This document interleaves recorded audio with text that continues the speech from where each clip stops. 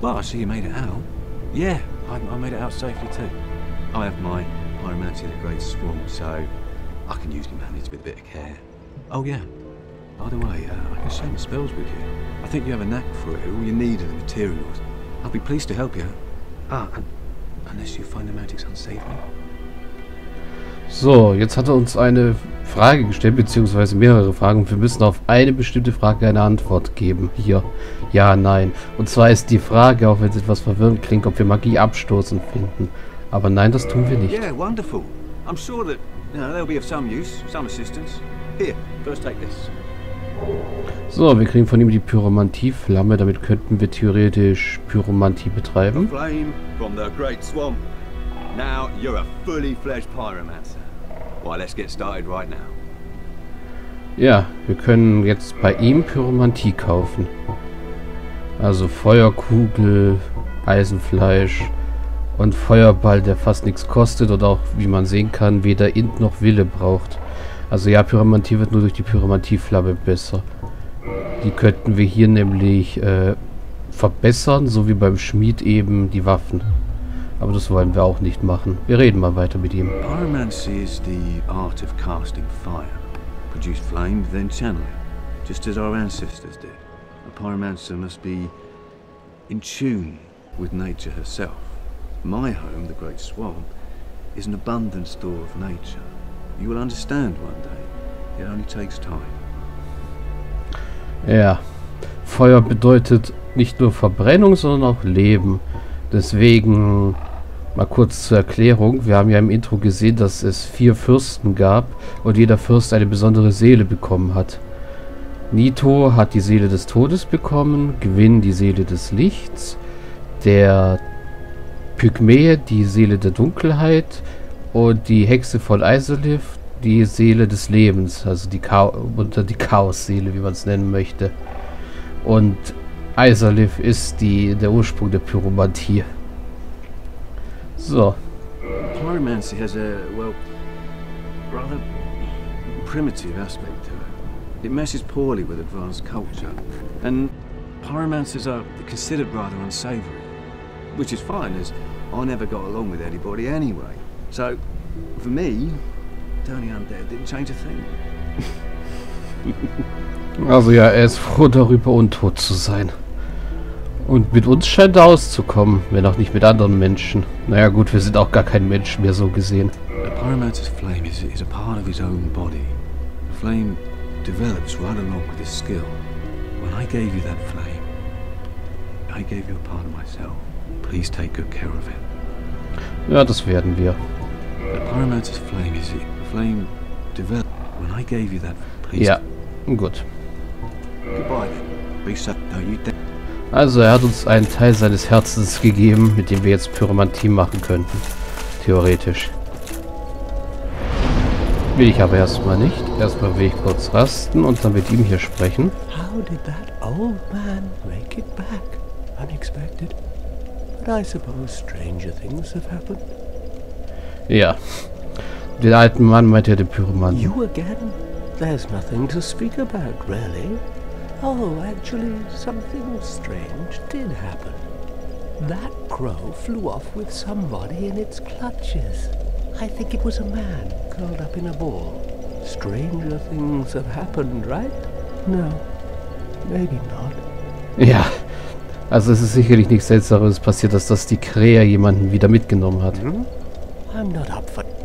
Okay, und er hat uns nichts mehr zu sagen.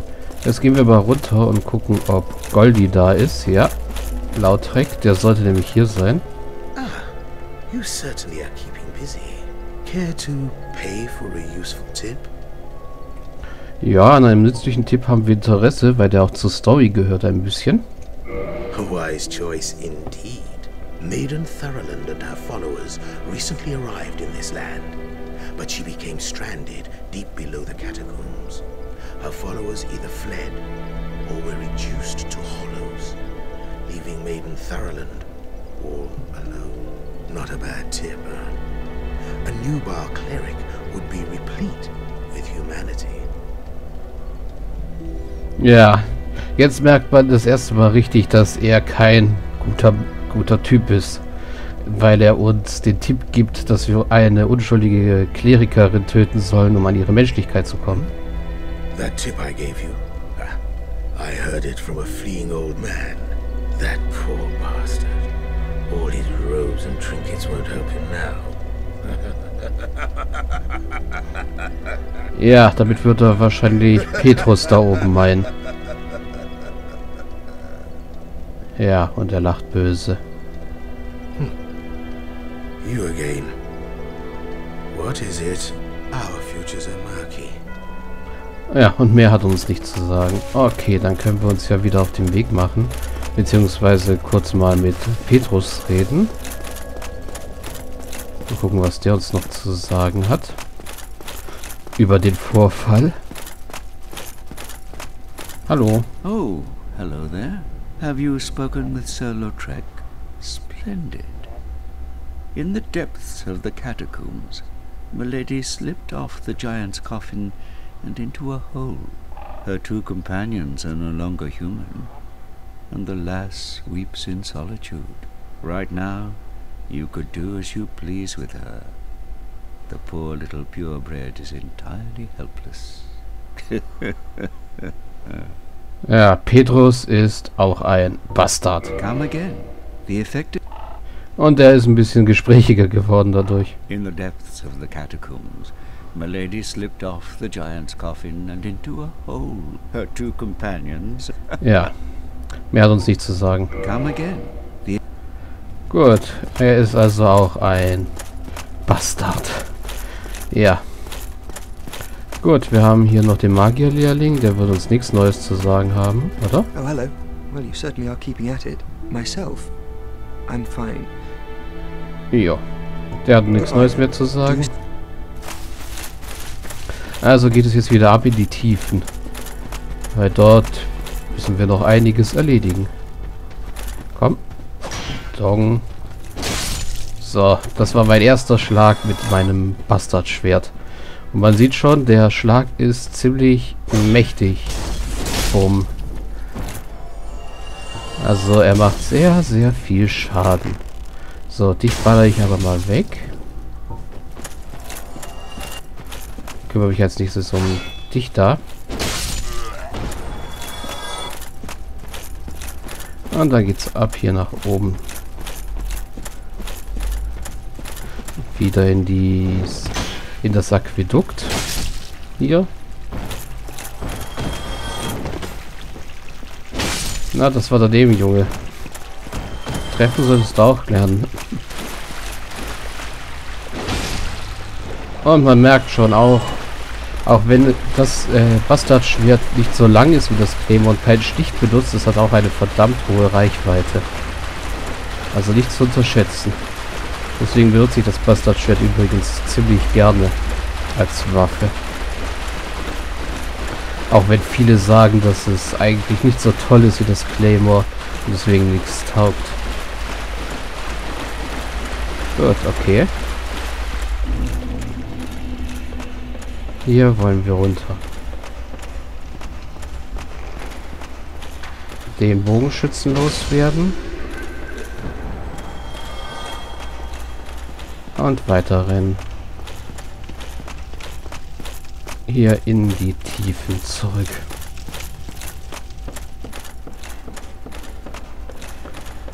So. Ah, Jungs. Na, das klappt hier leider nicht. Das klappt aber. Sturzangriff. So. Plündern wir den mal, auch wenn er nur ein zerbrochenes Schwert dabei hat. Weg mit dir.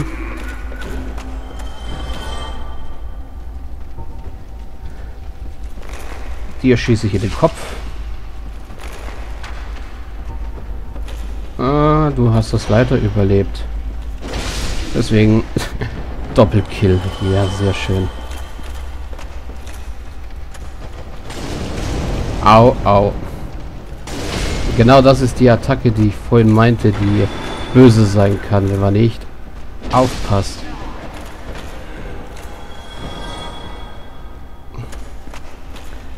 So, stirb einfach. Und dann heilen wir uns mal kurz hoch. So. Das, der Ring des bösen Auges hat uns dabei übrigens ein bisschen geholfen. So, dich töten wir einfach mal mit einem normalen Schlag. Das können wir nämlich auch. Und wir kriegen eine Menschlichkeit. So. Ihr haltet auch nur einen Schlag aus. Äh,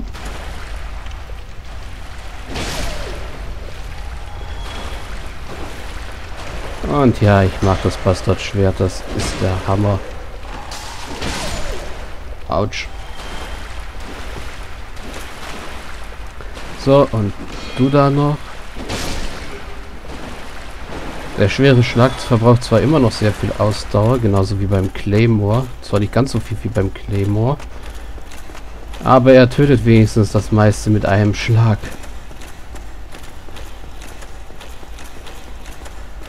So, jetzt hier runter.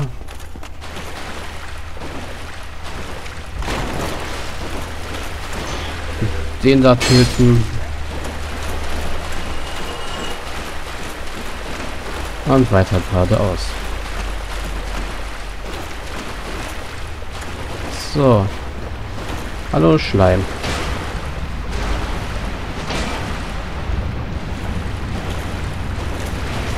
Dich töte ich.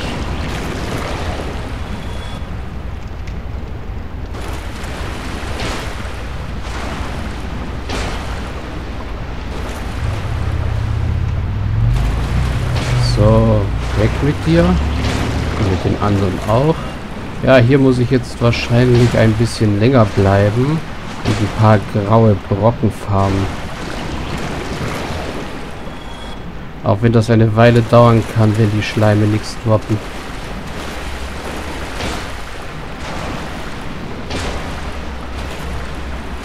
So, komm her.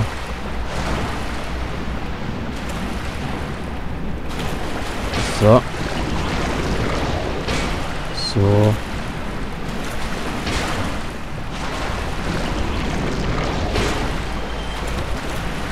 Ja.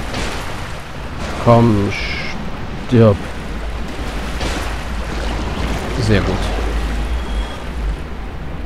Und kein einziger grauer Brocken, hä? Also keine einzige Scherbe.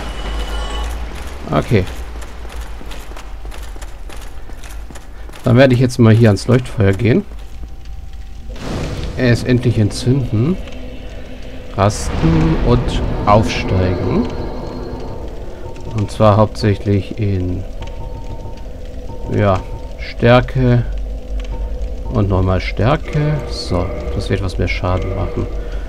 Gut, das Farmen hier. Wir brauchen ja mehrere Scherben. Acht Stück, um genau zu sein. Das werde ich jetzt mal zeitraffern. Also sehen wir uns gleich wieder.